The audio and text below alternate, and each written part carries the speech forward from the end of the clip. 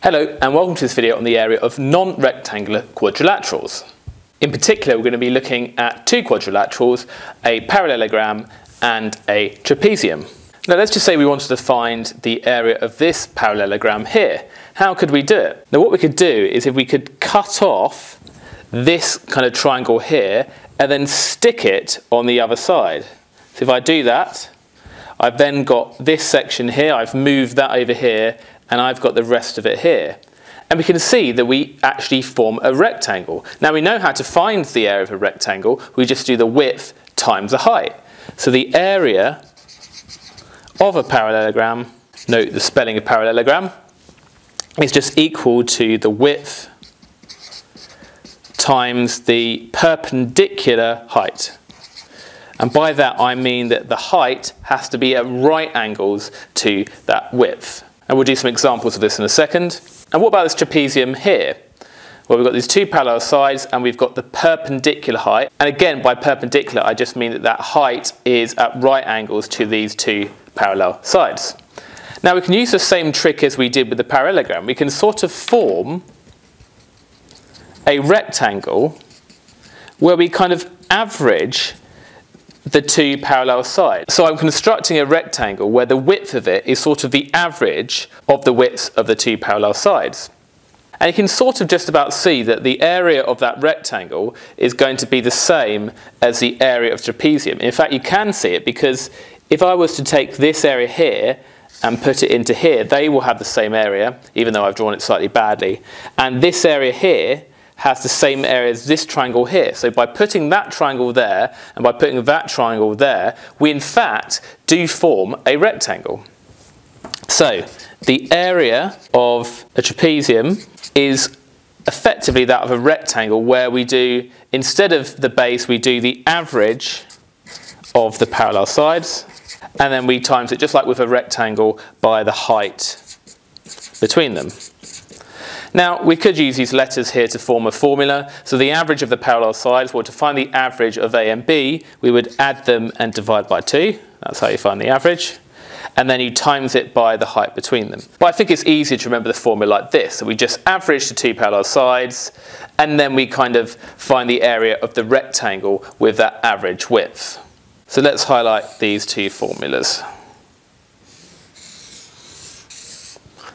Now, let's do some examples. We've got this parallelogram here.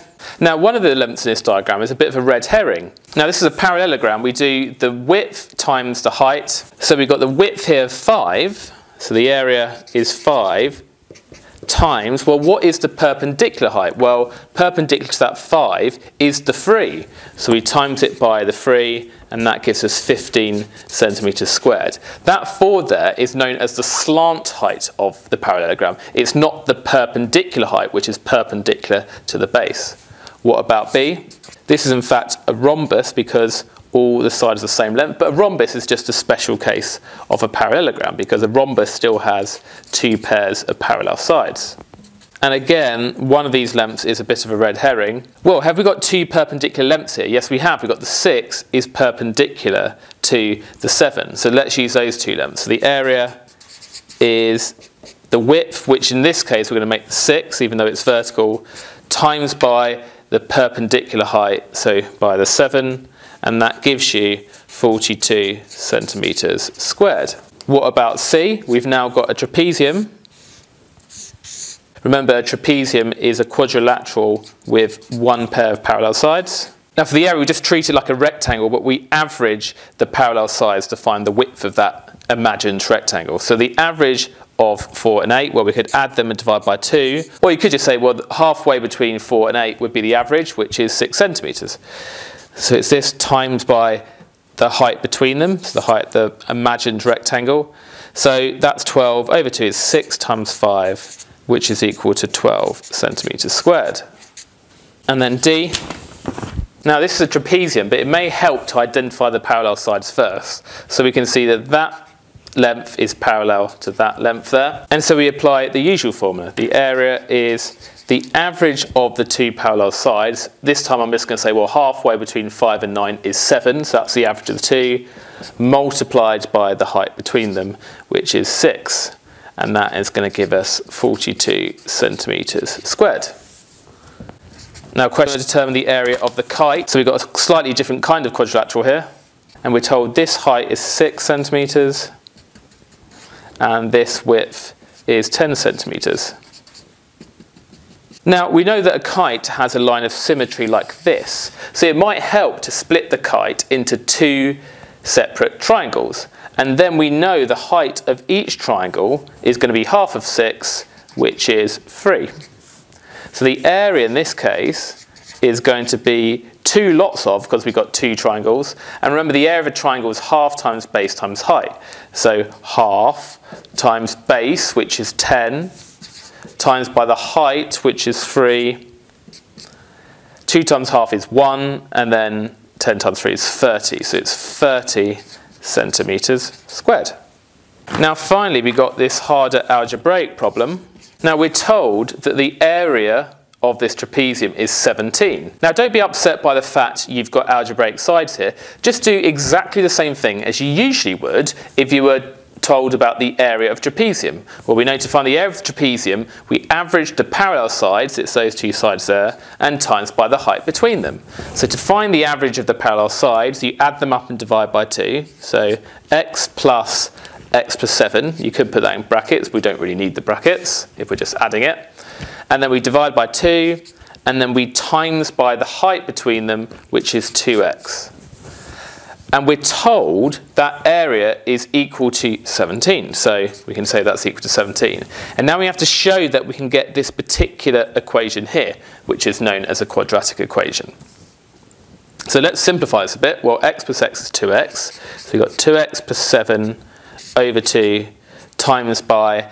Now, I'm timesing a fraction by a non-fraction, and you might know that we can turn that non-fraction into a fraction by putting it over 1 because that allows us to now combine these two fractions together. So 2x plus 7 times 2x, I'm just going to do 2x brackets 2x plus 7, which means I've multiplied them together, and that's over 2 times 1, which is 2. Now, um, I don't like fractions in my equation, so I could multiply both sides by 2 to get rid of that over 2. So if I times both sides by 2, times timesing by 2 on the left-hand side gets rid of that over 2. So we're just left with 2x, 2x plus 7. And then if I times the right-hand side by 2, I get 34. Let's expand out the bracket now. So 2x times 2x is 4x squared. 2x times 7 is 14x. And that's equal to 34. Now we're getting close, but we've got 4x squared, that's 2x squared. But notice that all of these things have a factor of 2. So we could divide both sides of the equation by 2, and that gives us 2x squared plus 7x, this is looking promising because it's looking close to this, equals 17. And yes, we have got this. All we need to do is just subtract 17 from both sides, and we get the equation that we want. And just to note that when you have a show that question like this, it doesn't mean solve that equation. That's a very different type of question. It didn't ask us to solve it. It wanted us to use the information provided to generate that equation. It did not ask us to solve the equation.